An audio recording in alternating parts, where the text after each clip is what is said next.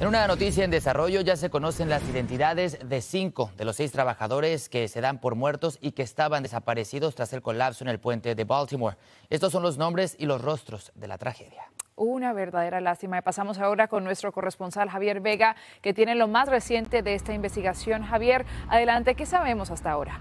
Así es, Nicole Octavio, buenas tardes. Se han encontrado ya dos cuerpos en estas labores de búsqueda en el río Patapsco, aquí en Baltimore, Maryland. Se trata de los cuerpos de Alejandro Hernández Fuentes, mexicano de 35 años, Dorlián Castillo Cabrera de 26, originario de Guatemala. Y lo que han dicho las autoridades es que estos cuerpos se encontraban dentro de una camioneta de carga roja tipo pick-up que cayó al agua desde el puente cuando se registró este choque de la embarcación y que lamentablemente ahí quedaron atrapados los cuerpos de estos dos trabajadores hispanos. Faltan cuatro cuerpos más, pero en este punto ya han cambiado las labores porque ya se está entrando una nueva fase. Primero fue la del rescate, luego fue la fase de la búsqueda y ahora se ha entrado una fase que le llaman de salvamento, que es básicamente la de tratar de remover con maquinaria escombros que se encuentran dentro del agua y que se presume debajo de esos escombros pudiera estar el resto de los cuerpos. También en las últimas horas se conocen nuevos detalles de la investigación,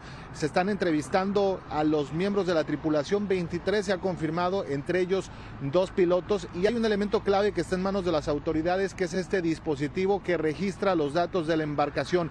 Con ello han podido construir una línea de tiempo mucho más clara de qué fue lo que ocurrió. Se sabe que sonaron las alarmas del barco momentos antes de que fallara el sistema eléctrico, que uno de los pilotos ordenó bajar el ancla y que avisó claramente que este gran barco carguero iba a impactarse contra el puente. También se conoce ya el manifiesto de carga. Han confirmado investigadores federales que dentro de este manifiesto se encontraban materiales peligrosos, más de 50 contenedores con 700 toneladas de material inflamable y corrosivo e incluso se ha detectado un brillo en el agua. Todo esto está evidentemente investigándose, pero indicaría que además de la tragedia humana, social, también habrá un impacto no solo económico, sino ambiental luego de este acontecimiento. Regresamos con ustedes. Javier, muchísimas gracias por tu reporte. Y como bien menciona Javier Vega, también sigue cerrado uno de los puertos más importantes de la costa este que va a tener un impacto económico. Y es lo que poco a poco vamos a comenzar a ver, Nicole, y vamos a explicar un poco a qué se debe esto. Y es que le cuento que esta caída del puente de Baltimore también deja un prejuicio económico notable en el puerto y desde luego, por supuesto, en esas empresas que lo utilizan, especialmente aquellas del sector automotriz y también el de maquinaria pesada. Entre las compañías automovilísticas, las cinco que más dinero mueven en sus muelles son estas que vemos en pantalla. Mazda, Mercedes, Subaru, Mitsubishi y Volkswagen. También es importante saber que la actividad portuaria genera 15 mil puestos de trabajo directos y unos 140 mil puestos de trabajo que serían indirectos. Y ya puestos a calcular, la reconstrucción del puente está valorada a día de hoy en mil, dos mil millones de dólares. El puerto de Baltimore ocupa el decimotercer lugar de todos los Estados Unidos y mueve más de un millón cien mil de contenedores cada año, como lo vemos en pantalla, que en este caso pues eran aproximadamente unos 58 contenedores. Nicole. En una noticia de última hora, el abogado de Donald Trump, Steve Sero, aseguró hoy que las acciones del entonces presidente en 2020 fueron un discurso político central y no pueden ser juzgadas como tal. Lo dijo durante el, proceso que se lleva a cabo sobre la posible interferencia electoral en Georgia en las últimas elecciones presidenciales. Sero insiste en que las declaraciones, comentarios o discursos de Trump siempre se habían hecho en el marco de un discurso protegido. Otra última hora nos lleva a un tribunal del Bajo Manhattan donde el cofundador de FTX, Sam Bankman-Fried, ha sido condenado a 25 años de cárcel. Hace cuatro meses fue declarado culpable de orquestar un fraude multimillonario de criptomonedas que afectó a clientes, inversores y prestamistas. La sentencia se le ha leído en un tribunal del Bajo Manhattan ante el cual el acusado se disculpó diciendo que había tomado una serie de decisiones egoístas mientras dirigía dicha empresa. En California, una madre vivió momentos de terror durante un tiroteo. Vea. El video de seguridad muestra cómo las balas impactan en su casa y ella corre a proteger con su cuerpo a su pequeño hijo de cuatro años que dormía en un sillón. Luego lo tomó en sus brazos y corrió para alejarlo del peligro. La familia se había mudado hace una semana y cree que los agresores los confundieron. En total fueron 41 balazos y la policía busca a dos sospechosos. Un hombre de 22 años de edad comparece hoy por primera vez en corte acusado de apuñalar y matar a cuatro personas y herir a otras siete en Rockford, al noreste de Chicago. Soto fue detenido ayer después del ataque y aún no están claros los motivos de dicha agresión.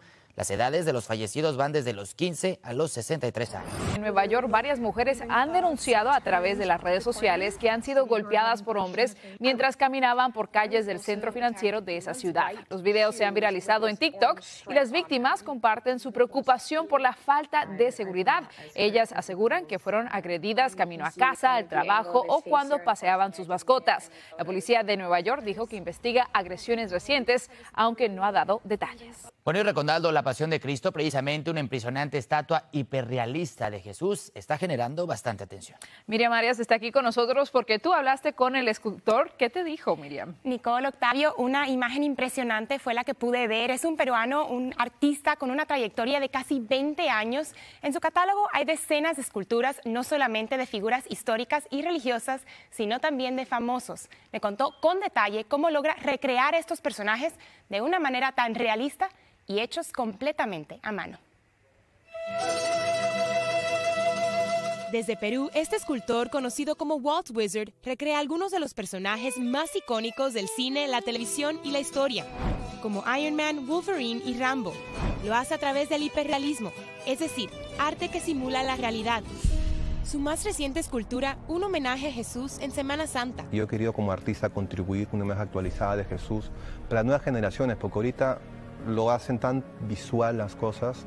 Los niños quieren ver todo en 4K, Ultra HD, los videojuegos y todo. Entonces esa es la forma de presentarle actualizadamente a, Jesús, a personajes históricos, si lo quiere ver de esa manera, ¿no? y que permita tener una conexión emocional, que sientan realmente que ha sido como nosotros. Al elegir un personaje, especialmente un histórico, el primer paso es estudiarlo a partir de ahí comienza la acción. Lo principal es hacer una escultura en arcilla sintética en la cual impregnas todos los detalles del personaje que quieres realizar y después es un vaciado en silicona de grado médico.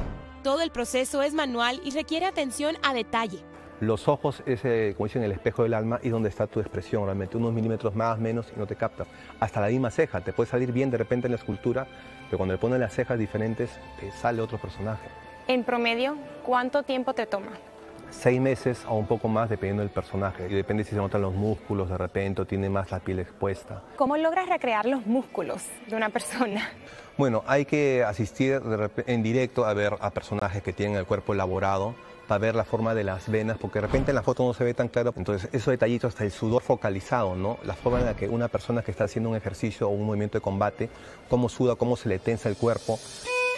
Para Walt, finalizar cada una de sus esculturas le da una enorme satisfacción y le llena de orgullo ya que en su niñez jamás pensó que su hobby se convertiría en un trabajo real. Walt estudió para ser ingeniero industrial, una carrera completamente distinta, pero hoy le ha ayudado muchísimo. Me dice que su pasión es pintar y crear, pero que al final del día su conocimiento de marketing y de economía pues es esencial para poder llevar ese trabajo a fruto. Miriam, y no lo veíamos tanto en video, pero en, persona la escultura es bastante grande y bastante alta. Sí, es muy alta, un poquito más alta que yo. Eh, él dijo que hizo mucho, eh, buscó muchísimo, investigó muchísimo para hacer esta escultura, para asegurarse que tuviera todos los detalles posibles. Eh, para él es muy importante que se parezca lo más posible a lo que se conoce como la realidad. Claro, porque para muchas personas tiene un significado muy importante. Gracias, Miriam. Gracias.